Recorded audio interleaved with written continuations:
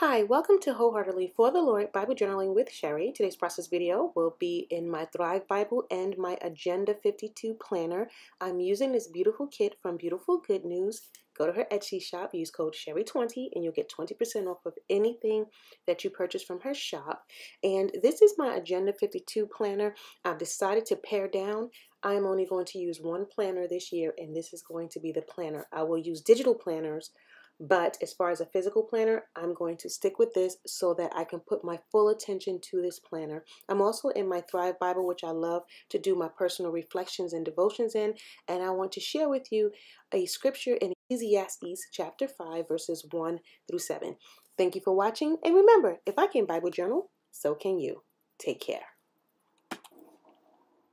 I tell you, the Word of God is so powerful. I wanted to share with you my reasonings for not making New Year's resolutions. I'm not saying there's anything wrong with it. I'm not saying that we shouldn't do it. If you feel like it's something that you need to do and you're going to be committed to it, then by all means do it. Uh, I am just personally convicted by this scripture that I've read several times, and this is the time where it just kind of resurfaced itself because this is a time where a lot of people in the world make resolutions, lose weight, do this, start a business. They make all of these plans and things like that. And most times, a lot of these things do not come to fruition for whatever reason. But sometimes we make promises that we do not keep. And we mean well. We mean well, but we don't keep them. And this is a time of year where people are just in a rush to just like, this is a new year and it's a new time. And so I want to do this. I'm going to, as Christians, I'm going to promise God, I'm going to be more committed. I'm going to be more faithful. I'm going to read my word more. I mean, we just make these vows, vows, vows, vows, vows. And for the Lord, He is not governed by time. He is not governed by time like we are. So 2022 is just another day to Him. And for a believer, 2022, yes, it's a new year in the calendar, but every day His mercies are new. Every morning we have an opportunity every day to start fresh and to start new. If we have breath in our lungs, we have an opportunity to glorify God, to be more committed to Him, and to sanctify Him through righteousness and holy living and living for Him and standing for Him. And so in Ecclesiastes chapter 5, it says, Walk prudently when you go into the house of God and draw near to hear rather than to give sacrifice of fools, for they do not know they do evil. Be not rash with your mouth and let not your heart utter anything hastily before God. For God is in heaven, and you are on earth. Therefore, let your words be few.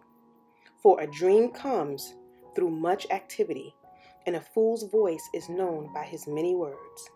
When you make a vow to God, do not delay to pay it. Pay it because for he is has no pleasure in fools. Pay what you have vowed. Better not to vow than to vow and not pay. Do not let your mouth cause your flesh to sin, nor say before the messenger of God that it was an error. Why should God be angry at your excuse and destroy the work of your hands? For in the multitude of dreams and many words, there is also vanity. But fear God.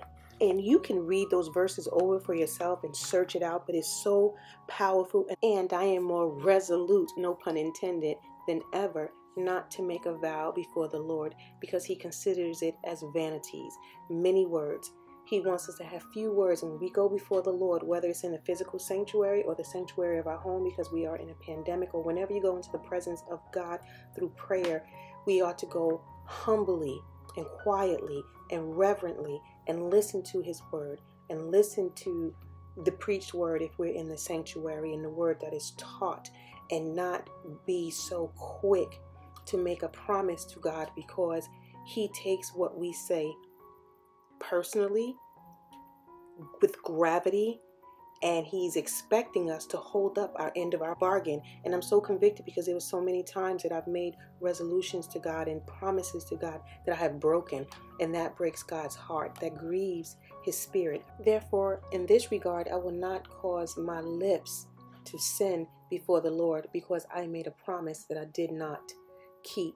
And He wants me to come before Him with fewer words and listen to Him more. And He equates many words with dreams in verse 7 multitude of dreams. People dream, dream, dream, dream, dream, dream. And it takes them away from the Word of God, God's direction. And He considers that vanity. And Solomon says, but fear God. Not the vanity of dreams, not the vanity of many words.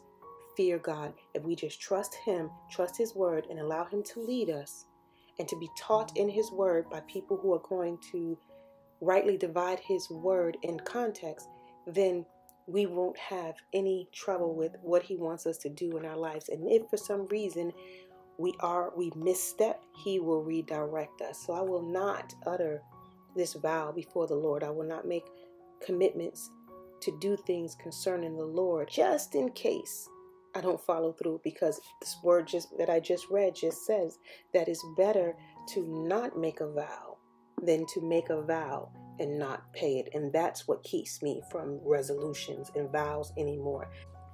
So now I want to not only be careful of my speech before man and the things that I allow to leave my lips, but also what I utter before the Lord.